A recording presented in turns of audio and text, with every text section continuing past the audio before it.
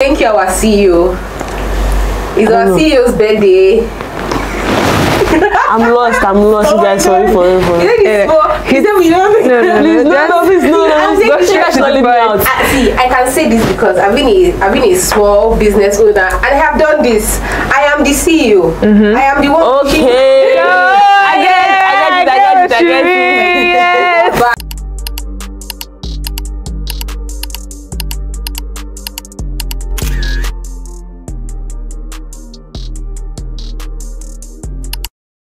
Good day, everyone, and welcome to episode two of the Curiocity Podcast. In case you've forgotten me, even though I know you haven't, my name is Annie, and of course, with me, I have today. Angie here, guys. Hi. I'm so happy to have you guys here today on this episode. Now we have a really, really exciting treat for you. We have invited someone very special, Someone very fashionable. a good baddie, a very good baddie, as I like to call her. She's so beautiful. Like I can't even keep my excitement eh, within myself to introduce this amazing person to you. So without further ado, let's invite. Ngozi. Thank you guys so much for having me. My name is Ngozi. I'm an entrepreneur and also a brand manager. Thank you guys. Isn't she um, just so I'm excited to be here. Isn't she a gem, honestly? Oh, so cute. Anyways, So Ngozi is our very, very first guest on the Curiocity Podcast. So rest assured, we're going to bring in so many important, educate, educative people on our show that is they're going to share their wealth of knowledge with you. And for our very first topic that we have, because this time, not the last time, we we're just talking, mm-hmm. right? But this time, we are actually going to talk about something, something very important. I feel everybody has been touched yeah. by this particular topic, one way or the other in their lives, you know. Mm-hmm. It goes by so many ways. What I ordered versus what I got. Mm-hmm. It can be one where your your favorite vendor you realize is also just getting some materials from I don't want to mention any house shops, but yeah. So so without further ado, We're going to ado, talk about fake life. yeah, Fake faking it till you make it. So if you're a Nigerian, if you use social media, mm-hmm. there is no way you've not heard of the term fake life. Because please just give our users a A bit of light into what what the do you topic think? is. What do you even think this whole fake life thing is all about? Like from your point of view, Yeah. if you hear Mr. A, that one is fake life.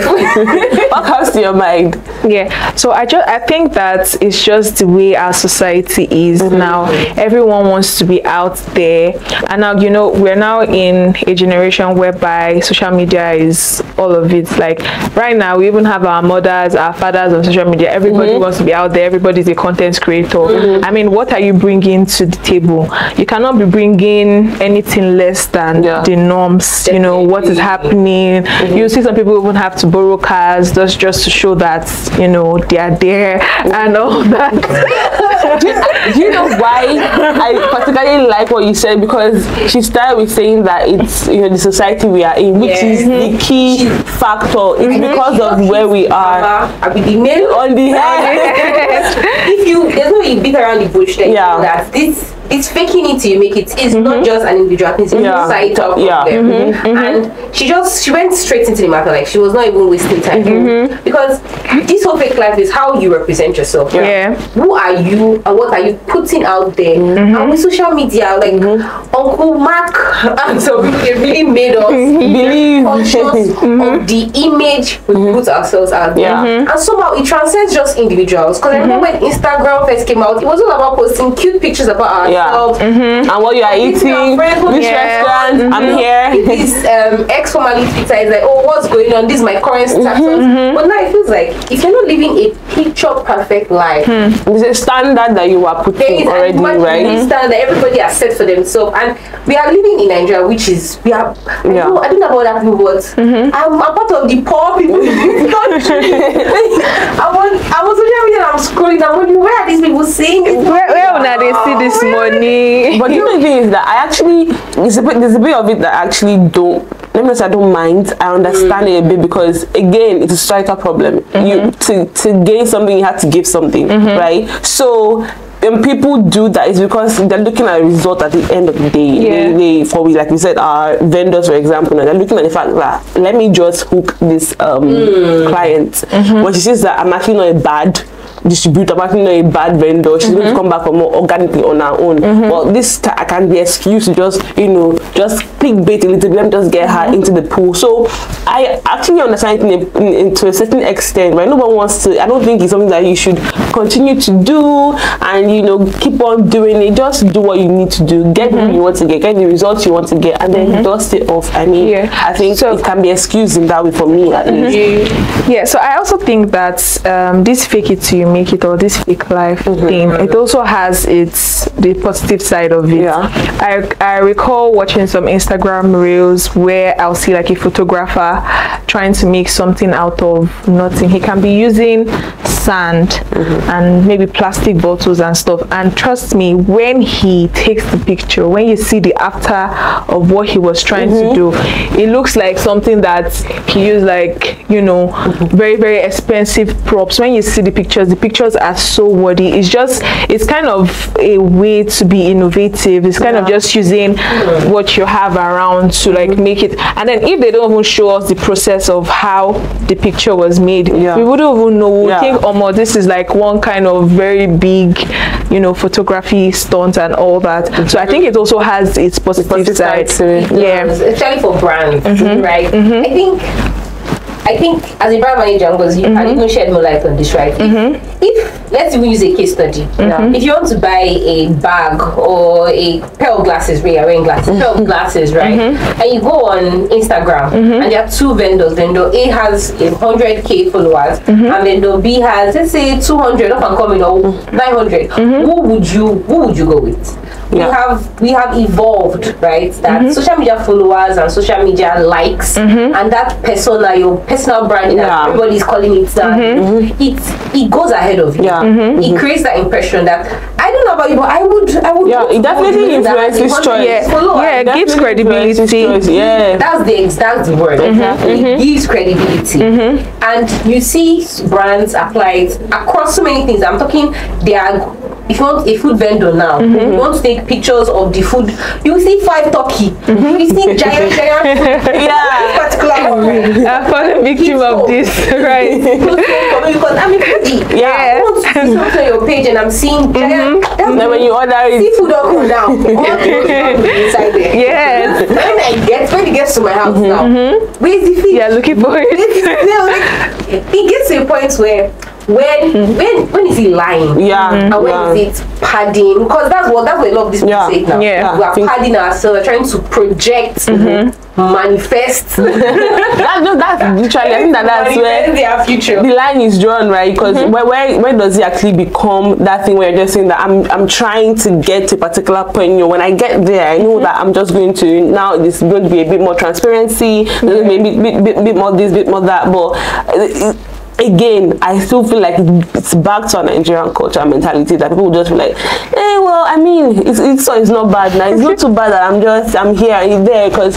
that person that you're just trying to put out there, everybody, Let me give you another everybody wants to have it. Let me give you an example. Thank you, our CEO. It's our know. CEO's birthday. I'm lost. I'm lost, you guys. Oh sorry for it. For You it. this he said we don't No, no, Please, no. no, no, please, no, no, You guys it not leave out. Ah, see, I can say this because I've been a I've been a small business owner and I have done this. I am the CEO. I am the one. pushing- Okay. I get it. I get it. I get it. I get it. Yes. But I- Yeah. From the entire team, Yeah. And the entire team might just be It's just you. It's just me. that they are with Yeah. but they are giving this impression that they We are, have this they are established team. Of commerce, right? Exactly. And lawyers of labor. This is not a one-man operation. This is, you know, the CEO. Yeah. So at least Yeah. just from that or even if you have or even if you have like a complaint or something maybe you order something and you don't like it they will not be like oh our customer care will reach out Yeah. to you It's still the same it's still person. the no. same person no but it's just a way to like elevate the brand Yeah, to make the it- brand look like Because at the end of the day, all you, that you, you can't packaging really matters, matters matters because you can't mm-hmm. really. I don't know if it's, it's a bit, it's a bit harsh to say. Honestly, doesn't sell again in Nigeria. I don't mm-hmm. know if it's not the harsh right to say. word. Yeah, that's not the right let's word, not- let's not but it's like it's like how how how honest and how down to earth can I actually be to get my target audience who have been who have been um, kind of structured to want to go for what they think or they view is the better option, right? So it's it's it's kind of just them um, conforming to what's already on ground and the, and the structures have been set in place already. But I think for me, the takeout should just be that there should be that that line and there should be that um, integrity that you'd have to say, okay, even if I know that uh, at the beginning, these followers that I put on my page is is just No. I bought it to. Yeah. By the time you have your That- that organic ones, back yeah, to it come back to bite them a lot. So Because- and you have but the longer you keep it, the more it shows. Yeah. Right. And I'm seeing 20, 20 people are delinquent. Yeah, It's- yeah. it's Yeah. fair. it's clear. But I want to ask, I want to ask the person of- out of three of us, who's the experts, right? Mm-hmm. How can brands keep themselves behind that line? Because we've established that there's a fine line Yeah. between packaging And then mhm. lying. putting your best yeah. report and mhm. just blatantly lying mm. like false advertisements and all of that. How can brands ensure that they are still within that safely be, be behind that line? Like what what do you think you can tell? Okay, so I'm going to say that I don't think it's bad that you start up Mm-hmm. building up your page, especially knowing how there are so many competitions Yeah. on Instagram, right? And understanding your target audience, understanding how these people think, Mm-hmm. right? A normal Nigerian will feel like, oh, a page that has less than 100 k, um, 100 um, followers, Yeah. rather, can't that be means you are new, you can't yeah. be trusted. I need to see reviews, I need to see all of that. So yeah, brands can actually tap into this fake it till you make it. However, it is not safe to stick to that. While you're doing that, you should also, Also be- work on yeah, exactly. improving your brand. All the reviews you're getting, Amazing. if you get 10 reviews today, ensure that you're posting your 10 reviews. Exactly. Consistency, keep on building the brand mm-hmm. until I mean most of all these brands that we see today that have like over 200k followers and all of that, they probably started that way. Yeah, they did the work. Yes. put yeah. Yeah, especially in COVID year, a lot a lot of people were buying followers because almost everything was happening online. Yeah. Right. So I know for a fact I have friends and all that they engaged I mean people that were in the business of selling followers, they made a lot of money in that year 2020. I can mm-hmm. say that for a mm-hmm. fact. Yeah, right. And I think that even as a personal brand, the fake it till you make it thing actually helps some people. Mm-hmm. I'm going to use like a case study. I'm not going to mention the celebrity, Yeah. but you remember that time that sometime in 2019 there was this celebrity that was posing that you know she was the owner of a particular house,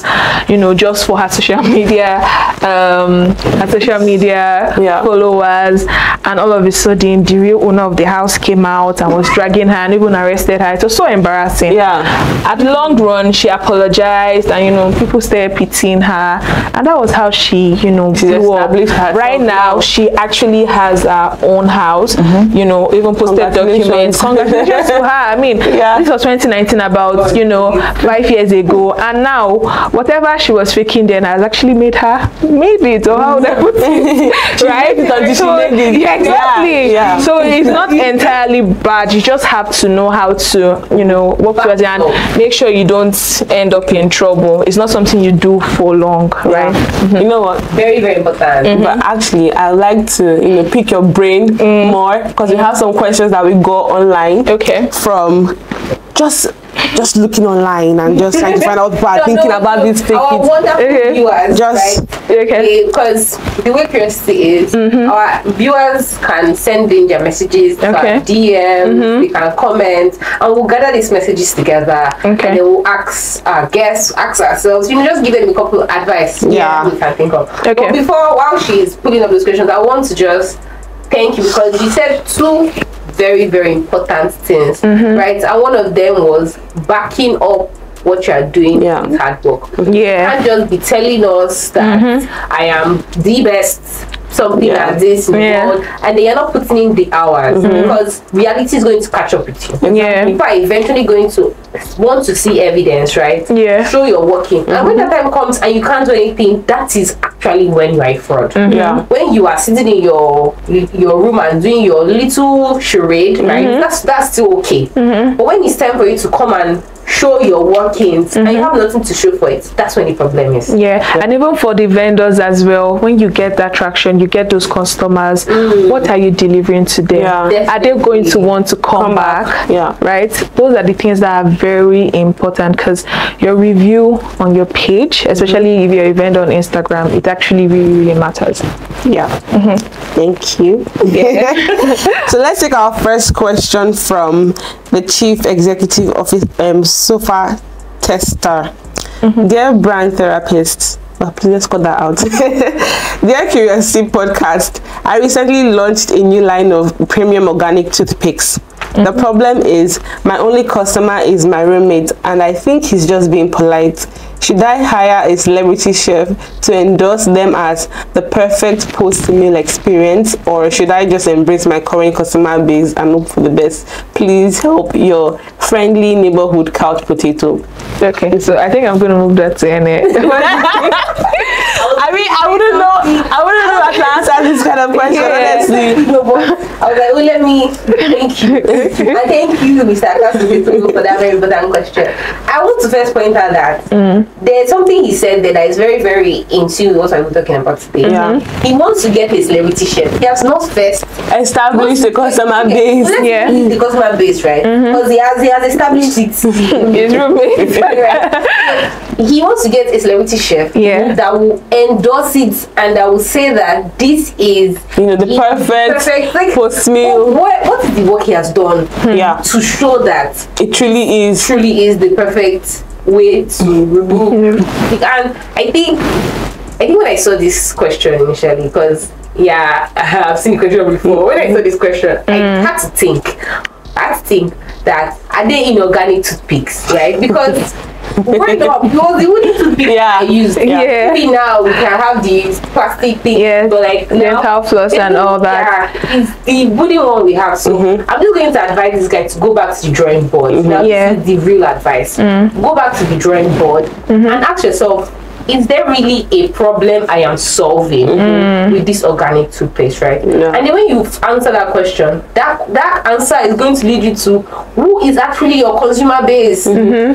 And I can tell you for free, it is not your roommate, right? First of all, you have to understand when you're doing business, it's not for your immediate family, it's not for your mm-hmm. friends, it's Yeah. for people out there. Mm-hmm. Mm-hmm. Remove that your roommate and actually identify who these users are. Yeah. And then you can move from there. Like once you can identify them, you know how to sell them. You may not even need a celebrity chef. But why does he even need a celebrity chef when? Why is he not thinking of using like a dentist? Do you know or exactly? And something? that's what came to my mind. I feel like Right. the fact that his mind immediately went to celebrity chef endorse it just for that shows the way our mind, our psyche said like someone who can put it episode- out. A whole episode just to break Yeah. down, like because where who is he trying to target? What type? No, of that's the brand? thing. Because something that he- Like, he's not thinking about that. That's the I thing. he's He's thinking to about putting it a out there luxury, in it exactly organic, because that to him is what will sell. Item, like But you get. he's not thinking about that. He doesn't care. Sorry, sir. Can't can't potato. He, but he's not thinking about that. He's just thinking about what would sell. Nigerians would like anyone that Like would like a like- person who's bringing Yeah. this. They would love to mm-hmm. get it because of that person. And I think mm-hmm. that just goes back, like Annie has said, you have to go back to your drawing board. But the fact that you're even thinking that way, I mm-hmm. mean, we can't, you can, we can't fault you. You're just a basic Nigerian, average Nigerian. I'm sorry, an average Nigerian, like I am, I am as well. Exactly, like that's the only question. We have Yeah. because that's such a loaded question. Yeah. Like I said, a lot of questions are just Yeah. exactly like after this as well. Our questionnaire, right? In hmm. future, I hope we'll have time to actually talk about how to target um, your audience, Yeah. with mm-hmm. creative mm-hmm. marketing campaigns, and Yeah. so many other things to distill under that question. But this is all we have for now. Yeah. because our very, very important guest has other important appearances to make. You can't always you can't have her for long. Yeah. So we just have to let her go. And Hopefully we have her back one day. definitely, we'll Yeah, have her definitely. on this seat. You're going to come, right? Of Yeah. course. Yes. of course. Right. Yes, this was very Very interesting. So yeah. don't forget to follow us on all social media, mm-hmm. on Spotify, on YouTube, on Instagram, Facebook, you know, PO Box, Pigeon, Falcon. Follow us everywhere. Our Yeah. username is on the screen. And don't forget to keep on dropping questions, Just like questions, opinions, ideas, and anything else you want us to, you know, uncover and discover together. In count of three, let's all sign out. So one, two, three. Bye, Bye, guys.